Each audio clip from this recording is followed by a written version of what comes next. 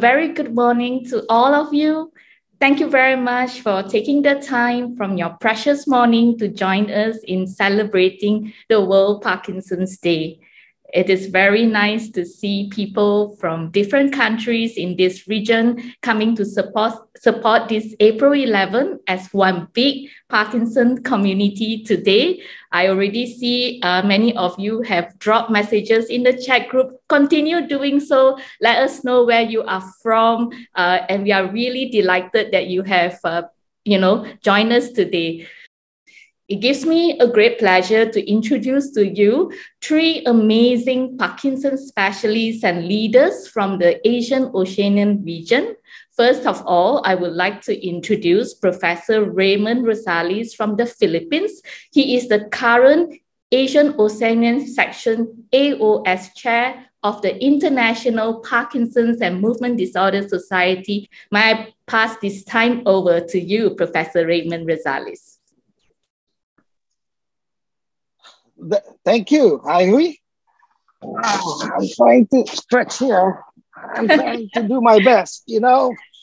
Uh, well, in behalf of our president, uh, Dr. Francisco Cardoso, who is going to chair the Western Hemisphere event, uh, we welcome you to the Eastern event, uh, Eastern Hemisphere event. And of course, uh, we are happy and to start off by thanking our patients and then, of course, uh, I, it is not uh, without uh, saying that we have here the executive officers of the uh, MDS, IPMDS AOS. And also, we have here uh, the uh, chairs and the presidents of the affiliate societies of various countries in the Eastern Hemisphere. And we do welcome you all. And so, this is just a, a very light, hopefully, an occasion not really to defeat Parkinson's disease, but in a way, look at it as, as, as a conduit upon which exercise should be part of our uh, program because, uh, you know, Parkinson's is not only a motor disease, it has non motor manifestations and exercise, which is the target of our event today, is one and foremost uh, part of the therapy therapeutic program in Parkinson's disease. Now, of course, uh, uh, I, I, I, don't like to, to steal so much of your time regarding this, uh, this introduction, if only to, to tell you one thing. If you are a Parkinson's disease patient or if you are relatives, the studies indicate that you have about 2.5 hours per week to do an exercise. If you have such a conglomerate, it's good enough. You can do Tai Chi, yoga, Pilates, dancing, uh, non-contact boxing, qigong, all of these you can do. So at this point in time, the focus of our World Parkinson's Disease, which is the first global event of IPMDS for you, will now start. Thank you very much.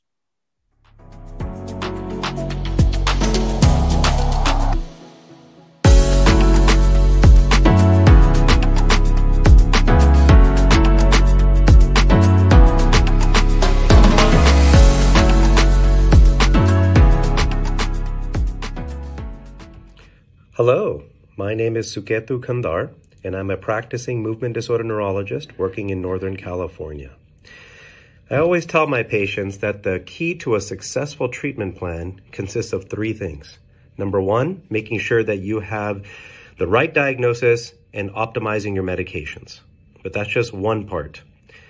Number two, making sure you have the right team surrounding you to help you in the best way possible. That would include your neurologist, your therapist, and maybe any other discipline that might actually be needed at the time. And then number three, and maybe even most important, is that you as the patient, as well as your loved ones, be empowered, partnered, and educated so you can be as informed about Parkinson's as possible. So again, to reiterate, making sure you have the right medications, the right team, and the right information. Happy World Parkinson's Day. My main advice is to take your time and so impose your rhythm to the world. This advice is worth from the very beginning of the disease when you need time to internalize and metabolize a diagnosis that you have just received. So take your time all the time that you need and start a new life at your own rhythm, a rhythm for your activities and your feelings. Just not let the others decide your time and timeline because you are the chief. I am Dr. Romario Ramos from the Philippines. Since most of the people I treat for Parkinson's disease have difficulty sleeping at night, I advise them to schedule their physical therapies in the morning so as not to interfere with their sleep. Also, I advise their caregivers, who usually are family members, to take turns in caring for their loved ones to avoid burnout. Aside from their motor symptoms, we physicians should also look after their mental health and spot any signs of depression or anxiety at the onset so we can treat them immediately. I believe that together, as one, we can improve the quality of life of people with Parkinson's disease. It can be difficult to establish daily exercises that benefit your well-being into your daily routine. Life can be busy and sometimes it's difficult to find the time. One tip for people with Parkinson's might be to try and connect these exercises with something that you're already doing regularly. For example, you might want to do your vocal exercises in the morning whilst you're having a shower, after you've brushed your teeth, or perhaps whilst you're waiting for the kettle to boil. Hi, my name is Barbara. Hi, my name is Joana. We are speech pathologists from Campus Neurológico in Portugal. We are here to talk about cough during swallowing liquids because it's a common and uncomfortable sign of swallowing difficulties in PD. We are here to share some tips to avoid it. If your head is backward, you will have more chances to cough. If you cannot choose the cup or the bottle, take one sip of each time and rectify your posture during swallowing.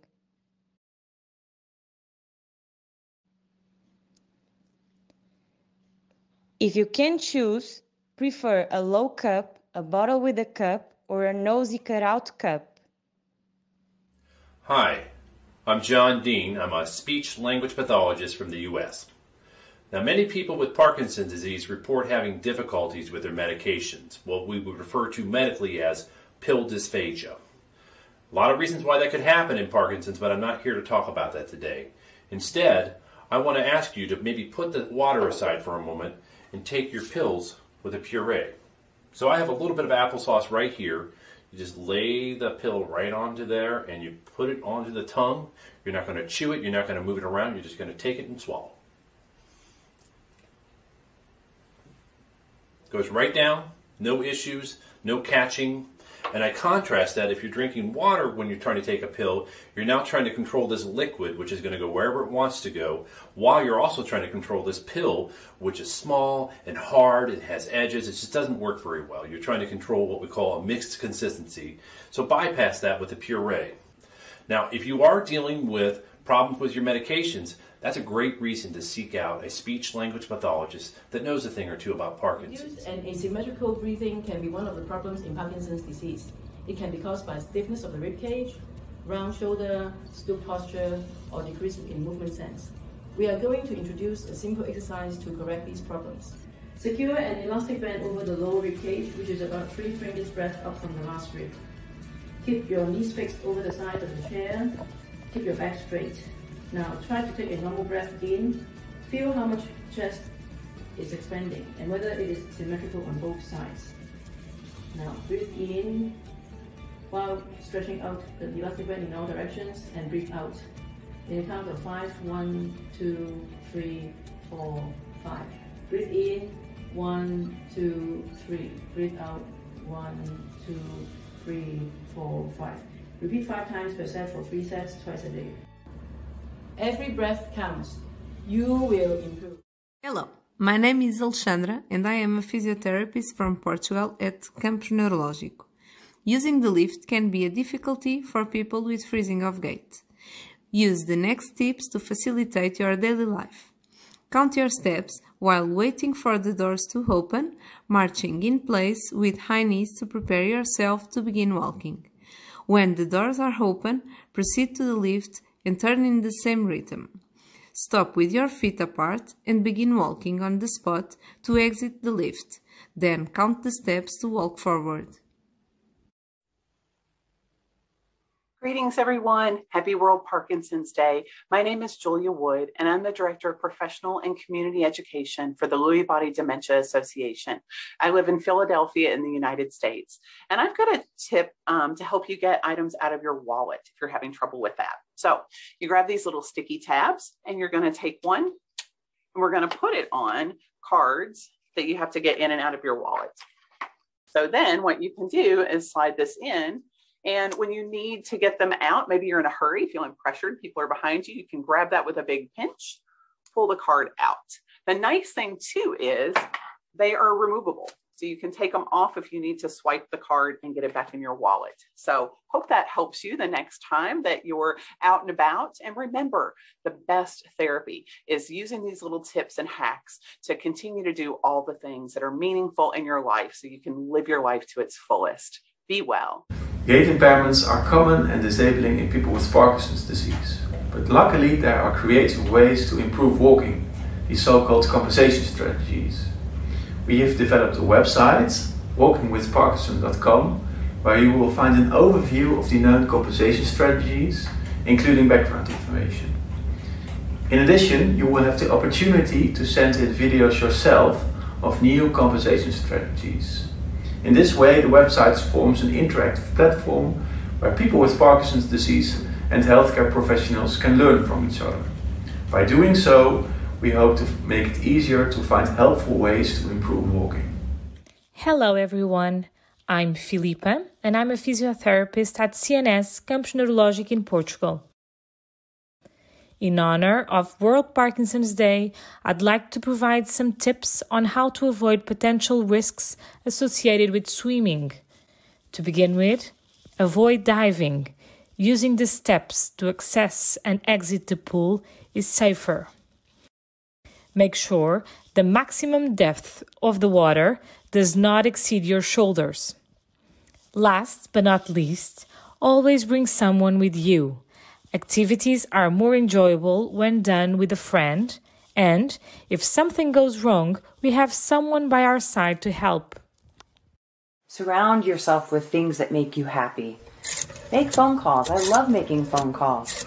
I love to dance. I love music. I love getting outside, being outdoors, and look at those beautiful clouds. Just so beautiful.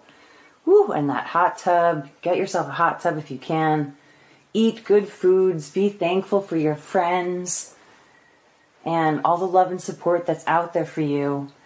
And, you know, even with Parkinson's disease, there is still so much in life that we have to celebrate. Olá, meu nome é Carminho, sou Ian Parker. Quando recebi o diagnóstico, senti o chão fugir-me debaixo dos pés. No fundo, só consegues pensar no impacto que isso vai ter. Tentas imaginar como a tua família vai reagir. O que vai acontecer à tua carreira, à tua rotina, porque na tua cabeça, a realidade como te conhecias até agora já não existe. O processo de assimilação é bastante difícil, já para não falar em toda a angústia que sentes. É literalmente um mundo no estômago e nunca estás preparado. Mas depois, com o tempo para digerir tudo e refletir, percebes que o Parkinson não é uma fatalidade. O que é preciso é relativizar, ouvir o teu corpo, definir prioridades, deixar de fazer freitos e encarar cada obstáculo com a garra de quem sabe que o vai vencer. A verdade é que todos os seres humanos têm limitações.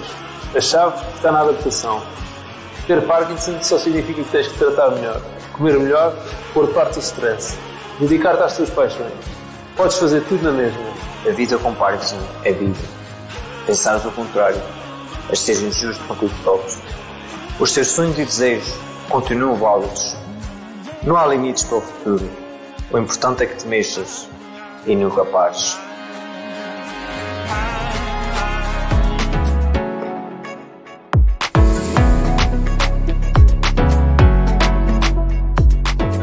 everyone. It's nice to see um, so many familiar faces in this uh, forum. Um, it was a little bit last minute in the making, but I really commend uh, you know the MDS for um, taking up this effort. Um, you know, besides our treatment in the clinic with medications um, from the neurologist, of course, treatment from um, our allied health therapists, physiotherapists, speech and language uh, pathologists, um, occupational therapists, dietitian, etc., etc., is is so important as well. And as you um, heard at the very beginning, um, you know, amongst the tips given was also self management, and um, part of that, you know, a critical component is to make sure that you're keeping active and always moving. So I'm really looking forward to uh, seeing the subsequent videos um, on the physical, more physical therapy aspects um, of managing PD. Thanks, Raymond. Thank you all.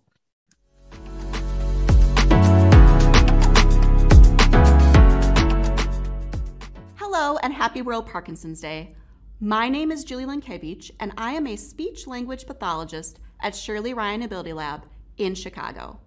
I'm here to run through some simple voice exercises with you today to help you maintain and improve your voice. These exercises can be done either seated like I am or standing. If you are seated, please make sure that you maintain a good posture throughout. Also make sure to have something to hydrate with throughout. Our first exercise is going to work on three things. It's going to work on your volume, your breath support, and your respiratory drive. We're just going to say, ah, but we are going to hold it for 10 seconds. Here we go, taking a good deep breath in. Let's say ah all together. Ah.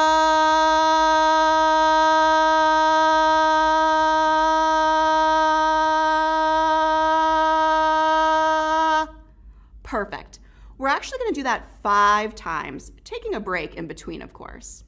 Our second exercise, we're still going to use our ahs, but now we're working on our pitch and our intonation to help during conversation and just overall social interaction. We're going to do a glide with our ahs. So we're just going to kind of go on up and come down together. Let's do an ah glide working on our pitch and intonation. Here we go. Ah.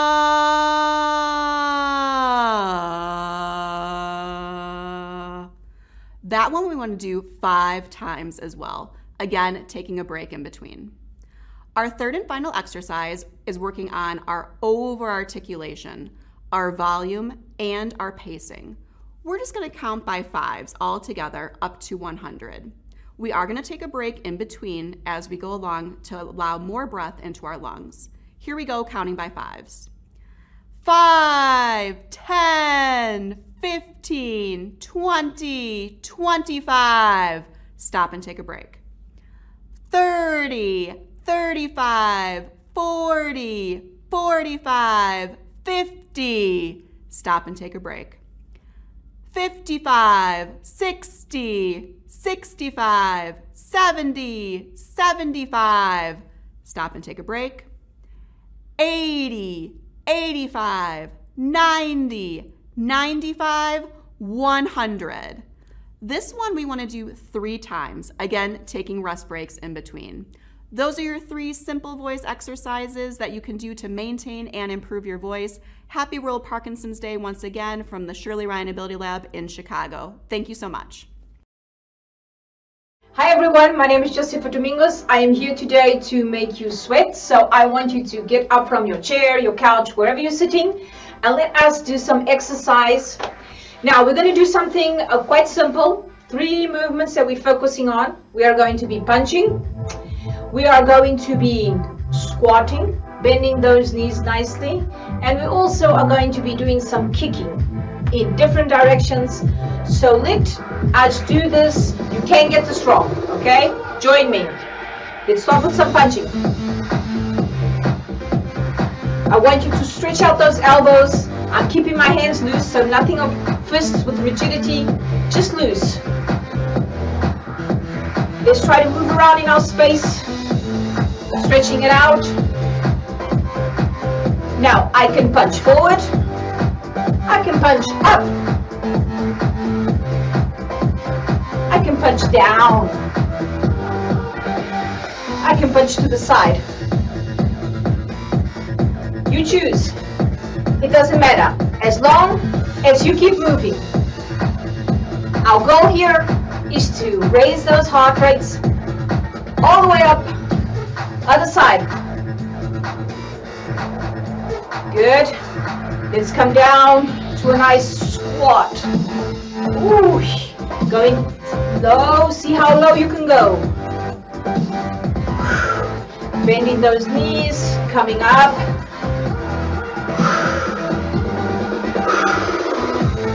Let's go into kicking.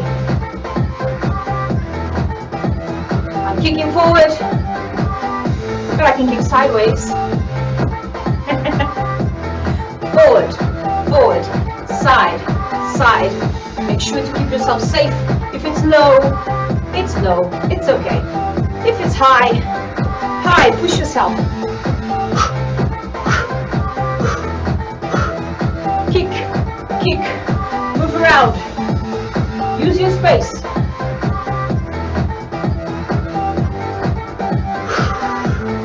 Back to our punches.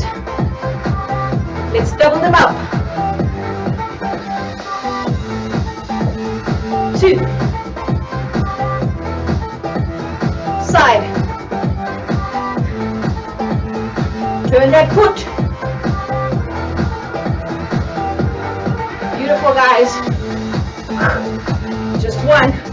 Turn that foot. It's important. Let's get some kicking.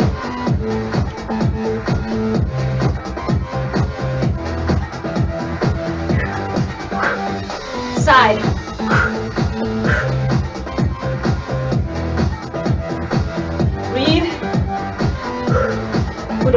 Into each movement. And don't forget to smile.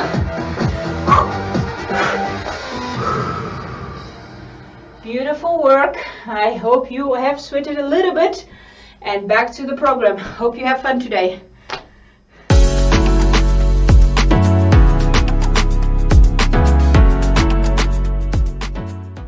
At this point, may I call on friend Yih-Ru, our uh, secretary of AOS, for some tips, additional tips. Yih-Ru, you're on. Hello, I'm Yih-Ru Wu from Cheng Memorial Hospital, Taipei, Taiwan. It's very happy to see so many friends around the world here. And also I enjoyed the exercise last time. And uh, today I just want to say something about the exercise. The exercise is very important part for healthy living for everyone. For people with Parkinson's disease, exercise is more important than healthy. That's why, because the reason for the exercise can induce dopamine, and dopamine can in, let us make more happier. Exercise and the physical activity are vital component to maintaining the balance, mobility, and also the activity of daily life. It can improve many PD symptoms like bradykinesia, rigidity, and also the postural instability. Many studies have shown that people with PD who start exercising earlier at, at a minimum 2.5 hours per week experience a slow decline in the uh, delicate uh, of life and also compared to the start later. So establishing early exercise habit is very essential to overall the, the, the disease management. And what kind of the exercise you can do? I think the most important one is to do the most that you like. And also we can uh, continue for many times. And uh, some tips you can uh, integrate in your exercise program, like aerobic activity, strengthening uh, training, and also the balance, agility, and also some uh, multitasking, and also the flexibility. Just like me, I use this kind of the, the, the term to do when I was uh, in the clinical and also exercise, and we can stretch my, my, my side. So the most important one, just uh, choose the one you like the most before I start, I, I, I, I uh, finish, let's say loudly, Parkinson, I will exercise every day to live with you peacefully. And uh, uh, welcome to join us and uh, happy Parkinson Day. Namaste. Bye. Thank you, Yih-Ru. Thank you. Indeed. Uh, we're happy to hear from you and these uh, helpful tips. Uh, at this point, uh, allow me to, uh, to, to, to, to share with you something about our association. IPMDS, International Parkinson's Disease and Movement Disorders Society, has its mission to really uh, uh, improve uh, patient care, care of you patients uh, through education, research, and these things uh, are uh, in in our programs, and you can see this in various ways in the website at this point, at, that, at the present time, we have about 12,000 clinicians who are members of the IPMDS, International Parkinson's and Movement Disorders Society. And today's event was a global initiative, the first World Parkinson's Disease Day initiative by uh, our association. Indeed, we are committed to the care of our patients. So therefore, we enjoin you to join this uh, exercise tips uh, that hopefully you can carry on with your daily lives to improve your quality of life. The shortest way to say this is there is no exercise prescription. We cannot prescribe to you an exercise prescription, but we can. We can introduce and share to you tips. And these are the tips that you can do so that uh, we hopefully uh, improve your quality of, of lives. And uh, of course, uh, uh, I, I, would like to end this by, by uh, inviting everyone to the International Congress in Madrid, Spain, September 15 to 18 this year. And uh, more information on the MDS educational resources for professionals and patients to follow. Uh, you can you can uh, always uh, see uh, to follow in a short video. And lastly, uh, I'd really like to thank Dr. Ai-Huey here, and especially the MDS Communications Oversight Committee and Health Professionals Special Interest Group for planning this activity. So thank you very much as I uh, finish my word here, let's move on to the closing part. Thank you. I just would like to uh, maybe take this opportunity to uh, thank uh, Professor Raymond Rosales, uh, Professor Shen Yang Lim, and Professor Yih-Ru Wu for joining us, uh, you know, taking away time from your very busy, hectic schedule as usual, and also to all uh, the AOS leaders who have joined us this morning as well. I would also want to really take this opportunity to thank all uh, persons living with Parkinson's, caregivers, therapists, doctors who have submitted you know many good and interesting tips for this event uh, I the committee actually had a very hard time deciding uh, which tips to be shortlisted for the video today. Uh, but uh, we have many more tips to come and it will be released on the MDS website. And we especially would like to thank uh, Josefa Domingos at Re- Radboud University Medical Center in the Netherlands and also Jennifer Goldman at the Shirley Ryan AbilityLab in Chicago for their collaboration with MDS and in preparing these very wonderful uh, exercise videos. Uh, I, I think today's event uh, has been a success because of a great teamwork uh, from uh, you know many many uh, good people from around the world who has joined and unite their energy in supporting the World Parkinson's event. Thank you very much.